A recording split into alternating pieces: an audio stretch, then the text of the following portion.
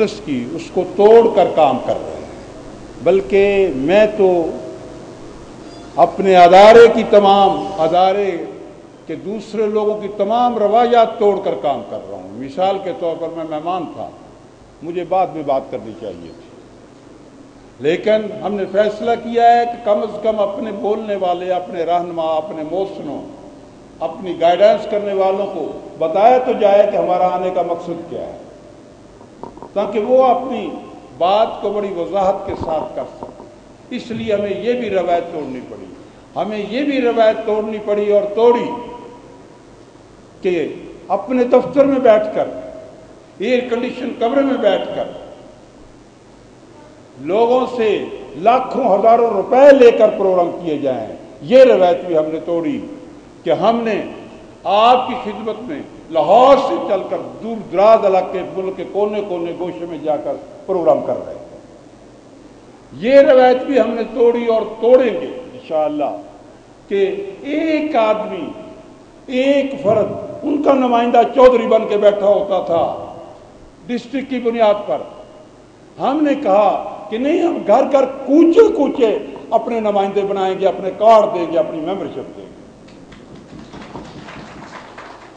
और ये रवायत भी हमने उनकी तोड़ी कि वो लोग खबरों को सिलेक्ट किया करते थे, खबरों को चूज़ किया करते थे और ये कहकर पूरी लोकल खबरों को उड़ा दिया करते थे कि ये खबर तो खबर हमीयत नहीं रखती।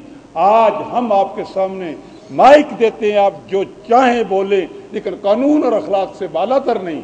और आपकी आवाज़ सीधी उन लोगों को पर जाएगी जो हल्लो उक्कत का अख्तियार रखते हैं। ये भी हमने उनकी रवायत तोड़ी। और इस पर मेरे, हम पेशा लोगों को बड़ा एतराज़ात है। मेरे सियासतदानों लोगों को बड़ा इतराज़ है। मेरे हुक्मरानों को मेरे खिलाफ बड़ा इतराज़ है। हुक्मरान तो कार्रवाई कर रहे हैं और करते रहे इन हम चलते रहेंगे, जाते रहेंगे। ये वाहिद रॉयल टीवी है जो गोशे गोशे कोने कोने देखा जाता है। और गोशे गोशे कोने कोने जाकर हम प्रोग्राम कर रहे हैं। लेकिन पंजाब का हुक्मरान हमें एक पैसे का इश्तार नहीं देता। पंजाब का हुक्मरान और पाकिस्तान का हुक्मरान हमें यह बात कर, नजरअंदाज करता है कि तुम तो इस्लाम की बात करते हो, तुम मजहबी जमातों की नुमाइंदगी करते हो। तो मैं ये बता दूँ कि हम मजहबी जमातों की भी नुमाइंदगी करते रहेंगे, इस्लाम की भी बात करते रहेंगे, पाकिस्तान की बात करते रहेंगे। अब मुशरफ चला गया, उसने तीन बार बंद किया था राज को। शायद आप बंदिश की तक भी जाएँगे तब भी हम चलेंगे हर कीमत पे चलेंगे। लेकिन अपनी रवायत नहीं छोड़ेंगे। हम इसको अवामी बनाना चाहते हैं। हम इनको गली कोचों का टीवी बनाना चाहते हैं। हम इस इसके ज़रिए तुमसे हमदर्दी रखते हैं हुक्मरान। शायद तुम्हारे इर्द गिर्द रहने वाले तुम्हारे आ, उठाने वाले तो शायद ये तुम्हें ना बताएँ। लेकिन ये लोग बैठे जो हैं, अगर इनकी आवाज़ सुनोगे तो शायद तुम्हारे सामने अकायक आ जाएँगे और वो तुम्हारी बेहतरी के लिए होंगे। हम तुम्हारी मदद कर रहे हैं और करते रहेंगे। हजरात, मैं अब आपसे मौजू की तरफ़ आता हूँ, कौमी यकजहती की तरफ़ आता हूँ। हजरात, इस वक्त कौमी यकजहती की जो ज़रूरत है, वो मुझे उस पर ज़्यादा कुछ कहने की ज़रूरत नहीं है। आप सब मुझसे बेहतर जानते हैं। लेकिन मैं एक बात की वजाहत किए जाना चाहता हूँ कि ये हालात को पेश आए? इन हालात में हम क्यों घिरे? अब इन हालात से निकलने का क्या रास्ता है? मैं ये बताऊँ, शायद आप तो अपने आप को इतना बड़ा नहीं समझते होंगे जो कि आपको समझना चाहिए। मैं एक अनपढ़ आदमी होते हुए, कम इलम होते हुए मैं इलम ना होते हुए, आलम ना होते हुए मैं ये बात ज़रूर कहूँगा। एक मुसलमान के सीयत से ये बात ज़रूर कहूँगा कि मुसलमान की बहुत बड़ी कदर है, बड़ी मंजलत है। आपको मुसलमान का खताब देकर अल्लाह की ज़ात ने मुसलमान का खताब विन करके नबी करीम सल्लल्लाहु अलैहि वसल्लम ने आप लोगों को अल्लाह का खलीफा बनाया है। और शायद आप अपना ये रास्ता भूल गए। अब मैं जिस शख्सियत को दावत देने जा रहा हूँ senior advocate Rajanpur bar Chaudhry Akbar Ali Zia साहब कि वो स्टेज पर आएँ और अपने ख्याल का इजहार करें। चौधरी अकबर अली जिया। कि आप एक ऐसा पैगाम लेके निकले हैं जो कि खासा मुश्किल कठिन और दुशवार है। सच बोलने के लिए बहुत ज़रूरत चाहिए। और ज़रूरत का मुजाहरा ही हम मुसलमानों में ख़ास तौर पर पाकिस्तानियों में नहीं रहा। कौमी यकजहती के हवाले से बहुत सारी बातें हैं जो दायरे में नहीं लाई जा सकती इस मुख्तसर वक्त में। सबसे पहले मैं अब तमाम हाजरीन से एक सवाल पूछता हूँ। अगर मैं ये कहूँ कि वतन अज़ीज़ पाकिस्तान इस वक्त हालत जंग में है तो कोई मुझसे इख्तलाफ करेगा? हम हालत जंग में हैं। हर तरफ़ से हमें मार पड़ रही है। इस हद तक कि सरहद में हमारे मुसलमानों को अमेरिका के ड्रोन जहाज़ आके जहाँ जी चाहे कसूर, बिला कसूर, बिला इम्तियाज़ उनको मारे चले जा रहे हैं। हमारा इकतदार इस कदर ख़तरे में पड़ चुका है कि एमल कंसी को डीजी खां से उठाना हो तो डायरेक्ट ऑपरेशन हो जाते हैं। किसी उस, उसामा को अफसानवी तौर पे मारना हो तो एबटाबाद के ऑपरेशन का ड्रामा भी डायरेक्ट हमारे इकतदार आला को मजरू करते हुए कर लिया जाता है। मेरा अपनी राय है और मैं समझता हूँ इसमें कोई दो राय नहीं हो सकती कि दो तारीख वाले ऑपरेशन में कोई उसामा नहीं मारा गया। या तो वो कहीं तोरा बोरा में मारा गया उसकी हड्डियों का भी फास्फोरस बन गया होगा या शायद वो अभी भी ज़िंदा हो। उसामा को मारना, उसका ड्रामा रचाना, उसकी अफसानवी मौत का ढोंग रचाना अमेरिका की अब मजबूरी बन गया था। अमेरिका जो पूरे आलम इस्लाम पे गलबा चाहता है, मुसलमानों को मारना चाहता है, उनके लिए अपने मुल्क में हालात संभालना मुश्किल हो गए थे। अमेरिकन सड़कों पे निकल आए थे, भी 11-15 साल से हमारे जो ट्रुप्स हैं, जो फौजी दस्ते हैं, वो वापस क्यों नहीं बुलाए जा रहे? ओबामा की हकूमत की, पूरी हुकूमत का ग्राफ डाउन हो रहा था। एक तरफ़ वहाँ इन्होंने ये ग्राफ संभालना था। दूसरी तरफ़ फौजों के इनखला का इन्हें सेफ़ रास्ता चाहिए था, जिसके लिए ड्रामा रचाया गया। हमें हमेशा इस्तेमाल किया गया है। एक, हमने शायद गुलामी खुद कबूल की है थोड़ी सी भीख मांगने के वज हम कर्जे लेते हैं, उसके नतीजे में हम पे हाई सेंक्शन आयद हैं। ऐसी सेंक्शन आयद हैं कि दस रुपये यूनिट अब बिजली का यूनिट हो चुका है। न हम चार रुपये यूनिट की बिजली चाइना से लेने के अहल है, हमें इजाज़त आईएमएफ नहीं देता। न हम सस्ता ईंधन ईरान से लेने की ज़रूरत रखते हैं, अमेरिका बहादुर ऊपर खड़ा है। वटू साहब जो मिशन लेके निकले हैं, ये बहुत पहले भी मैं कह चुका हूँ, मुश्किल मिशन है। आए, सच बोलना शुरू करें। अपने ज़मीरों को झंझोड़ें। जान अल्लाह ताला के हाथ में है, इज़्ज़त ज़िल्लत का मालिक वो है। तो किसी गैर से डरने का क्या फ़ायदा? आप ये देखें, जब वो हमला करते हैं, वो नहीं पूछते, तुम शिया हो, तुम सुन्नी हो, तुम वहाबी हो, क्या हो? मारने के लिए आपके दुश्मन के पास एक ही कुलिया है, आपका मुसलमान होना। जब मरने के लिए एक ही कुलिया है, क्या जीने के लिए एक ही कुलिया नहीं अपनाया जा सकता? कि हम मुसलमान हैं। क्या हम यकजहती के साथ सारे खड़े हो जाएँ? इतने लोगों की तो फूक भी मारे तो पता नहीं क्या उड़ा के रख दे। क्या हम अपनी राय ऊपर तक नहीं पहुँचा सकते? हम खौफ खाते हैं। मैं छोटे लेवल पे खड़ा हूँ, ज़िले लेवल पे कि मेरा डीसी और डीपीओ नाराज़ हो जाएगा।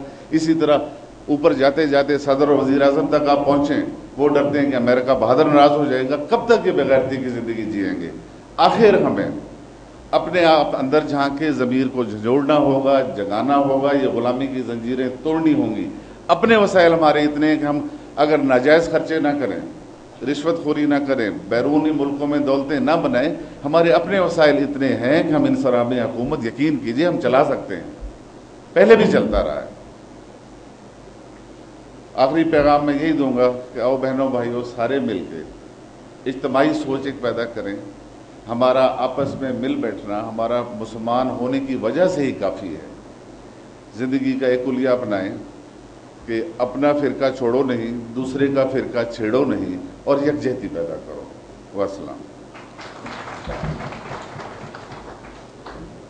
ये थे जनाब चौधरी अकबर अली ज़िया, सीनियर एडवोकेट राजनपुर। अब मैं दावत देता हूँ, सीनियर सहाफ़ी हैं जामपुर से। कालम लिखते हैं जनाब मोहम्मद हुसैन फरीदी साहब। के वो स्टेज पर आएँ और अपने ख्याल का इजहार करें। जनाब मोहम्मद हुसैन अफरीदी साहब। वतन अज़ीज़ का एक वो मरहला दोबारा से रूनुमा हुआ कि जब हमने कहा था कि पाकिस्तान का मतलब क्या? ला इलाहा इल्लल्लाह। और लेके रहेंगे पाकिस्तान, बनकर रहेगा पाकिस्तान। आज उसी पाकिस्तान को दोबारा से जगाने के लिए आज उसी पाकिस्तान को दोबारा से इस्तकाम बख्शने के लिए, आज उसी पाकिस्तान को दोबारा से खुशहाल बनाने के लिए रॉयल न्यूज़ की क्यादत ने जिस वियन का, जिस ख्वाहिश का, जिस खलूस का, जिस अज़म का, जिस नज़रिए का कारवां बुलंद किया, कारवां रवा किया, आज वो पंजाब के इस आखिरी सरहदी ज़िला राजनपुर ख्वाजा फरीद की धरती पर आया। मैं उन्हें खराज अकीदत पेश करता हूँ। हाजरीन मोहतरम, बातें बहुत हो गई। बातें आगे आने वाले मुकरन भी बहुत करेंगे। मुझे सिर्फ़ इतना गुजारिश करनी है कि पाकिस्तान क्या है, क्या था और क्या इसके साथ होने जा रहा है। और अगर मैं यूँ कहूँ कि आज मुझे ये देखना है, हम सबको ये देखना है कि जिस तरह कि आज अपनी हिफाजत का फरीज़ा हो अदा आज ये काम अबाबील नहीं कर सकते। और इसलिए कि औलाद भी नाबीना जन्म लेती है उनकी, जो नस्ल दिया करती हैं तावान में आँखें। हाजरीन मोहतरम, पाकिस्तान को बने जितना अरसा हो गया आपके सामने, लेकिन इस पाकिस्तान के साथ जिसने जो कुछ किया और जो जो कुछ कर रहा है, और वह कहाँ गया? जो पाकिस्तान, जिस पाकिस्तान का वक्त का वज़ीर आज़म बैन अवी फोरम पे अपने मुल्क के लिए, अपनी धरती के लिए बैन अवी फोरम पे करारदाद को फाड़ कर कहता है, मैं अपना हक जाके अपने ताकत से लूँगा। और वो कहाँ गया? वक्त का एक हुक्मरान, जो दुनिया की बड़ी ताकतों के कहने के बावजूद भी, दबाव के बावजूद भी पाकिस्तान को नाकाबले तस्वीर एटमी कुत बनाकर गया। वो कहाँ गया? पाकिस्तान का एक हुक्मरान, जो अपने आप को वतन के लिए सदारत जैसी कुर्सी को ठोकर मार देता था। वो कहाँ गया पाकिस्तान का हुक्मरान?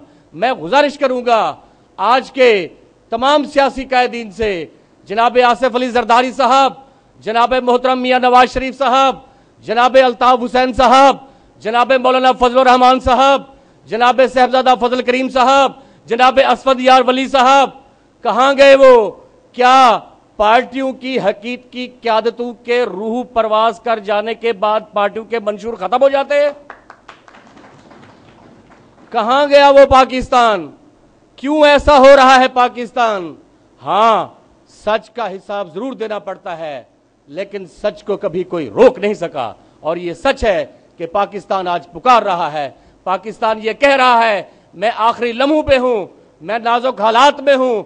ड्रोन हमलों का ज़िक्र हुआ गुर्बत का ज़िक्र होना चाहिए, बेरोजगारी का ज़िक्र होना चाहिए, यहाँ पे जहालत का ज़िक्र होना चाहिए और यहाँ पे मायूसी और बेहिसी का ज़िक्र होना चाहिए। हाजरीन मोहतरम, ये अजीम कौम है। इस कौम ने पाकिस्तान ने नहीं, चार बर्रे आज़म पे हुकूमत की है। आज भी पाकिस्तान और मुस्लिम कौम के हवाले से यूरोप की माँ अपने बच्चे को कहती है, बेटा सो जा टीपू सुल्तान आ रहा है। आज भी यूरोप की माँ कहती है बेटा सो जा मोहम्मद बिन कासिम आ रहा है। आज भी यूरोप की माँ कहती है, बेटा सो जा हैदर अली आ रहा है। भाई, ऐसा नहीं है। पाकिस्तानी कौम, मुस्लिम कौम, कहाँ है सुलाहुदैबिया क्यों हमने जय किया? क्यों हम दीन से इतनी दूर चले गए? क्यों हम वतन से और वतन परिस्थिति से इतने दूर चले गए? अगर आज हम नहीं आ रहे तो यकीन जानिए, हमारी दास्तान ना होगी दास्तानों में। अब वो वक्त नहीं रहा कि हम खामोशी से बैठे रहें। मैं कैसे सलाम पेश करूँ? मैं कैसे वो अल्फाज अदा करूँ? मियाँ गफूर बटू साहब के लिए, उनकी टीम के लिए कि वो इस धूप में क्यों निकले हैं? इस कारवा को क्यों निकाल के रखा हुआ है? ये अपना सरमाया और अपनी मेहनत क्यों सर्व कर रहे हैं? ये नज़रिया पाकिस्तान है। ये वही पाकिस्तान है जिसके बारे में पाकिस्तान का मतलब क्या? ला इलाहा इल्लल्लाह। अजीजा ने मोहतरम मेरे बुज़ुर्ग भी तशरीफ़ फरमा है, साहब इल्म दानिश भी तशरीफ़ फरमा है, मेरी बहनें भी तशरीफ़ फरमा हैं। आपको ये यकीन होना चाहिए कि पाकिस्तानी कौम वो वाद कौम है जिसने हर मरतबा अपने वतन के लिए सबसे बड़ी कुर्बानी देने से दरेक नहीं किया। लेकिन जिन्होंने दरेक किया, अब उनको बावर करवा देना चाहिए कि अब आप अगर दरेक कर रहे हैं, अगर आप दरोगों से काम ले रहे हैं तो पाकिस्तान के आप दोस्त नहीं हो सकते। पाकिस्तान का दोस्त वो होगा जो शिया नहीं कहलवाएगा। पाकिस्तान का दोस्त वो होगा जो देवबंदी निकलवाएगा। पाकिस्तान का वो दोस्त होगा जो अहल हदीस निकलवाएगा। पाकिस्तान का वो दोस्त होगा जो अपने आप को एक पक्का और सच्चा और मुसलमान और सच्चा पाकिस्तानी साबित करेगा। मुझे गुजारिश करनी है अपनी पाक फौज से कि आप खुद भी देखिएगा कि क्या था पाकिस्तान, क्या सरहदों के तकाजे थे और क्या होने जा रहा है। मैं इससे ज़्यादा लंबी बात नहीं करूँगा। सबके लिए मेरी इस्तेमाल होगी कि अगर आज भी हम लोग इकट्ठे ना हुए। और मेरी इस्तः होगी कि जिन लोगों ने अभी तक रॉयल न्यूज़ के इस पैगाम को लब्बैक नहीं कहा, वो गफलत से जागें, वो बेदार हों। आए, मियाँ अब्दुल गफूर वटू साहब को नहीं, मैं समझता हूँ पाकिस्तान के इस्तेकाम को मज़बूत करें, पाकिस्तान की खुशहाली को मज़बूत करें। और इस हवाले से मुझे ये भी गुजारिश करनी है, पाकिस्तान के लिए इनकलाब की बात करते हैं। किसी पाकिस्तान में इनकलाब की ज़रूरत नहीं है मेरी नज़र में। पाकिस्तान को बीमार करके रख दिया इन लोगों ने। पाकिस्तान को इन लोगों ने मफलूज करके रख दिया है। लेकिन पाकिस्तान की कौम, पाकिस्तान की आवाम मियाँ अब्दुल गफूर भट्टू साहब आपके साथ है। और मैं किसी और का यह जुमला आपके लिए इसलिए कर रहा हूँ कि आपका विजन आपका मिशन, आपका नज़रिया, आपकी तहरीक सिर्फ़ इसी बात पे है कि आप पाकिस्तान की बात करने जा रहे हैं, मेरी बात करने जा रहे हैं, मेरी धरती की बात करने जा रहे हैं। और मेरे खून का, मेरे मुस्तबिल का, मेरी नस्ल का बात करने जा रहे हैं। मैं यही कहूँगा कि मियाँ अब्दुल गफूर साहब, कदम बढ़ाएँ, कौम आपके साथ है। मुझे आज इस मौके पे अगर एक लफ्ज़ कहने की इजाज़त दी जाए तो यकीन जानिए, जब 20 जुलाई 2010 का डिज़ास्टर आया मुल्क में, कौन ऐसा शख्स का जो दिल के आँसू नहीं रो रहा था? आज की पाकिस्तान की नज़ाकत की कैफियत इससे ज़्यादा खौफनाक और संगीन और गहरी हो चुकी है। आज का पाकिस्तान आपको जो नक्शे पर नज़र आ रहा है, ये अंदर से, इस खूबसूरत दरख्त से, इस समर अब दरख्त के नीचे, ये जो खुदरो झाड़ियाँ उग रही हैं, बदमनी की, बेरोज़गारी की, गुर्बत की, महँगाई की, फ़िरका परस्ती की, उन सब का हल, एक हल, रॉयल न्यूज़ के साथ, कौम के साथ, वतन के साथ, आप खुदा का हम यू नाजर हो। अस्सलाम अब मैं अगली शख्सियत को दावत देने जा रहा हूँ। सीनियर एडवोकेट राजनपुर बार जनाब शेख वली मोहम्मद साजिद साहब, कि वो स्टेज पर तशरीफ़ लाएँ और अपने ख्याल का इजहार करें। शेख वली मोहम्मद साजिद। बसमीम काबिल सद एहतराम, मियाँ अब्दुल गफूर भट्टू साहब, चेयरमैन, रैल टी वी चैनल। जुमला ख़वान हजरात, मीडिया, प्रिंट मीडिया और इलेक्ट्रिक मीडिया, अस्सलाम वालेकुम। सबसे पहले तो मैं मियाँ अब्दुल गफूर भट्टू और उसकी टीम को राजनपुर आने पर खुश आमदेद कहता हूँ और मुबारकबाद पेश करता हूँ कि वो इस कदर एक जज्बा, एक मोहब्बत नामा लेकर, मोहब्बत का पैगाम लेकर राजमपुर तक पहुँचे। मियाँ साहब, राजमपुर की आवाम आपके साथ है। आपने जो ये काफ़िला बनाया है, हर यहाँ का फ़र्द, राजमपुर का फ़र्द, आपके कबीले का फ़र्द समझिए। मैं आपको यकीन दिलाता हूँ कि पाकिस्तान के लिए राजमपुर की धरती का हर फ़र्द अपना खून का एक एक कतरा तक बह देगा। आज ये हालात हैं कि हम इस सोच पर मजबूर हैं कि पाकिस्तान को कैसे बचाया जाए। ये लम्हा फ़िक्रिया है, हमारे लिए भी और जो अवान में बैठे हैं। जो अवान में बैठे हैं, उन्हें भी ये सोचना चाहिए कि हम क्या कर रहे हैं, हमारा मुल्क कहाँ जा रहा है। अफसोस कि हम कर्ज उठा उठा कर अपनी गैरत भी ख़त्म कर दी है हमने भी। इस बात पर मैं अलामा साहब का एक शेर कहूँगा, खुदी को कर बुलंद इतना कि हर तकदीर से पहले खुदा बंदे से खुद पूछे, बता तेरी रज़ा क्या है। हमारे पास वसाइल कम नहीं हैं। अल्हम्दुलिल्लाह, हमारे पास बहुत वसाइल हैं, सिर्फ़ हमारे पास ईमान नहीं है। ईमान की कमी है, इसलिए हमें हर फ़िक्र में बांटा जा रहा है। कभी हमें ये कहा जाता है कि ये पीयूष पार्टी के हैं, कभी ये कहा जाता है कि ये पाकिस्तान मुस्लिम लीग के हैं, कभी ये कहा जाता है कि ये एम क्यू एम के हैं। किसी ने ये नहीं कहा कि ये पाकिस्तानी हैं। हम इकरार करते हैं। हम इकरार करते हैं कि हम पाकिस्तानी हैं। बाद में किसी एक जमात के हैं। हम पाकिस्तान की हैसियत से इस सोच पर भी मजबूर हैं कि हमारे असास हमारे कैद, हमारे मुसलमान आका, जिन्होंने 400 साल, हज़ारों साल हुकूमत की, आज हम अमेरिका के दस बसकता है। इसलिए कि हमारे अमाल नहीं हैं। हमारे ईमान कमज़ोर हो चुके हैं। हमारा जज्बा ठंडा हो चुका है। हमारी मोहब्बतें ख़त्म हो चुकी हैं। ये मोहब्बत, ये जज्बा। आज रॉयल टीवी के चेयरमैन मियाँ अब्दुल गफूर वटू साहब लेकर चले हैं और इन हम मंजिल पाएँगे और मंजिल दूर नहीं है। अमेरिका से हमारा पैगाम है कि जो ड्रामा ये रचा रहा है यहाँ से निकलने का। खुदा की कसम, रशिया ने भी यही सोचा था कि पाकिस्तान के टुकड़े करके मैं यहाँ से निकलूँगा। अमेरिका आपके तुम्हारे तुम्हारे खुद टुकड़े होंगे इन आप इसी इसी सरजमीन में गर्क होकर निकलेंगे। मेरा पैगाम है आप लोगों से कि आए, इजहार यकजहती करें और मुल्क पर जो बहरान आया हुआ है, उसको मिलकर हम ख़त्म करें। पाकिस्तान पाकिस्तान।